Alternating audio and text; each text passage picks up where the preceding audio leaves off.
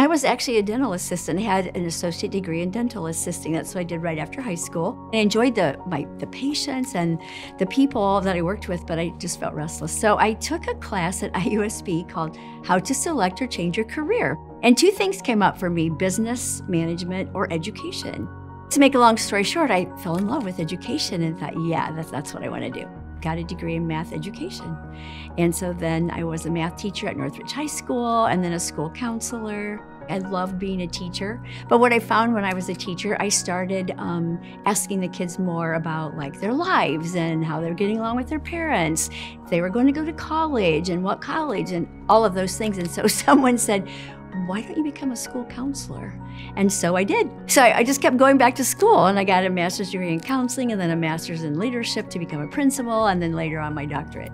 And then finished my career for 15 years. I was in Goshen as an assistant superintendent and then as superintendent. We worked really hard to provide opportunities for children. So we were able to create a K through 12 international baccalaureate pathway here we were able to create some programs around the district that had project based learning as their emphasis.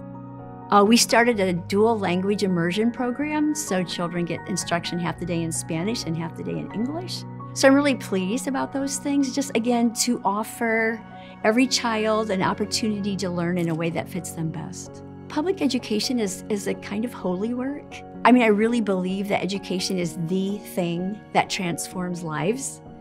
I mean, especially if you think about a child who grew up in poverty, if they can get a good education and then go on and have a good life and get training and something or get, get a great job, they have transformed their lives and their children's lives and all the children that follow, right? So it's transformative to work in education, and I just really love that part of it.